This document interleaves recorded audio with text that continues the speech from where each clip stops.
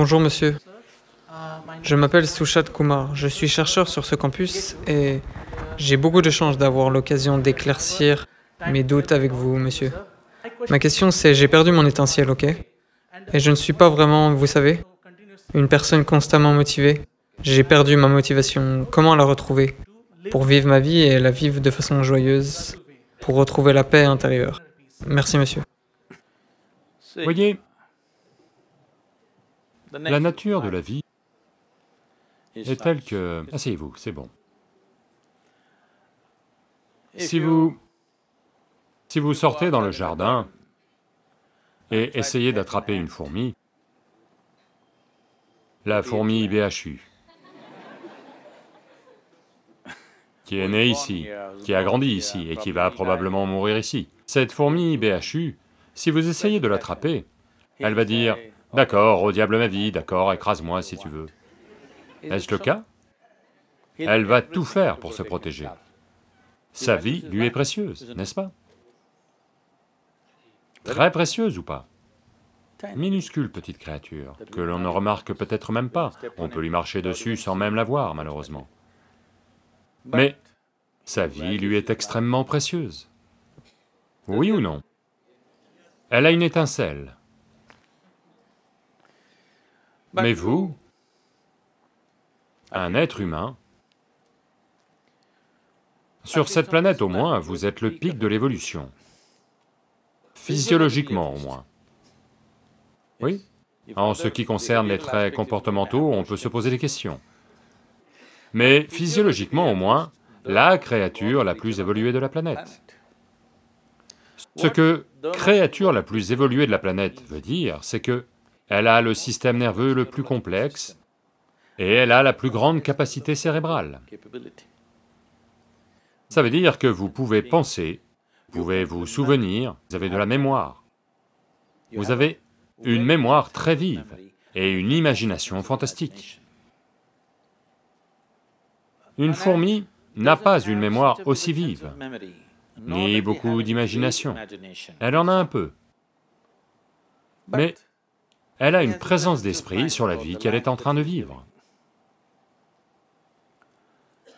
Comme les systèmes éducatifs par lesquels vous passez dès la maternelle sont tels. Il est question de tout, à part vous. Il est question de tout le reste. Quelqu'un est docteur en tourisme, quelqu'un est docteur en biotechnologie, quelqu'un est docteur en quelque chose. Rien à propos de ceci. Comment est-ce que ceci fonctionne On n'y prête aucune attention. Un être humain fonctionne. Vous savez, vous avez un temple Kala Bhairava ici. Ce que ça veut dire, c'est que un être humain existe dans trois temporalités. Il vit du fait de la richesse de sa mémoire. La richesse de votre mémoire détermine ce que vous allez faire et ce que vous n'allez pas faire, là, maintenant, n'est-ce pas? Donc la mémoire est importante, l'expérience actuelle est importante, et la vivacité de votre imagination pour demain est très importante. Là maintenant, le problème c'est que ces choses ont toutes été mélangées, parce que la discipline liée à ces facultés n'est simplement pas apparue. Rien n'a été enseigné à nos enfants sur le fait que, quand on dit discipline, les gens pensent discipline à l'anglaise, marcher comme ça, comme des idiots. Il n'y a pas de discipline de ces facultés. De ce fait, votre propre mental se retourne contre vous. Ce qui s'est passé il y a dix ans, vous en souffrez encore. Allô? Ce qui pourrait avoir lieu après-demain, vous en souffrez déjà. Parce qu'il n'y a pas de discipline de ces facultés. Vous ne savez pas comment utiliser votre mémoire, vous ne savez pas comment utiliser votre imagination. Votre mémoire vous fait souffrir, votre imagination vous fait souffrir. Et vous pensez que vous souffrez de votre vie. Vous ne souffrez pas de votre vie, vous souffrez uniquement des deux plus grandes facultés de l'être humain. Une mémoire vive et une imagination fantastique. N'est-ce pas ainsi? Si vous souffrez des plus grandes facultés que vous ayez, que peut-on faire pour vous? Si vous souffrez d'une maladie, compréhensible.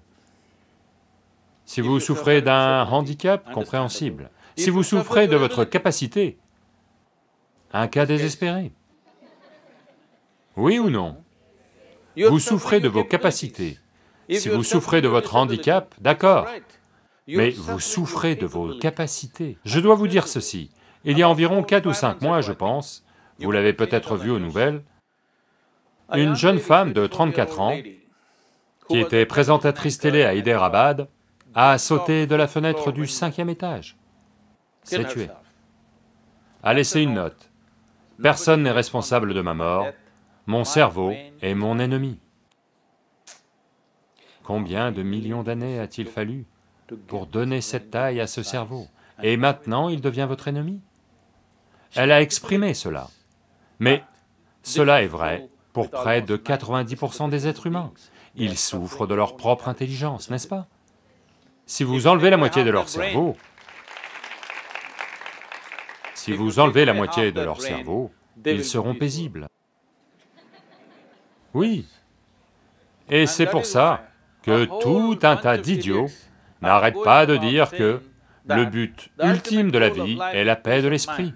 De telles personnes ne feront que reposer en paix. Maintenant, vous, jeune homme, vie universitaire, s'il n'y a pas quelqu'un pour vous stimuler en permanence, ça pourrait devenir trop facile, vous savez. Même moi, je m'en souviens. Quand j'étais à l'université, la plupart du temps, on était à la cantine ou dans le jardin. La partie la plus facile de ma vie, ça a été l'université. Je crois que... Je sais que ça ne va plaire à personne et... Mais je pense que cette période universitaire doit être raccourcie, à moins que quelqu'un ne produise quelque chose de brillant. Ils doivent être éjectés en trois ou quatre ans, tout le monde. S'ils font quelque chose en étant très concentrés et très intensément, ils doivent rester. Autrement, voyez, c'est tout ce que je vous dis à tous les jeunes. Faites tout ce que vous voulez dans votre vie. Mais vous devez être intensément concentré sur quelque chose. Si vous n'investissez pas dans quoi que ce soit dans votre vie, elle va simplement être gâchée. Parce que, comme je vous l'ai dit au tout début, un ingrédient de base de votre vie est le temps, et lui ne fait que filer. Vous vous êtes déjà rapproché de votre tombe de deux heures depuis que je suis arrivé.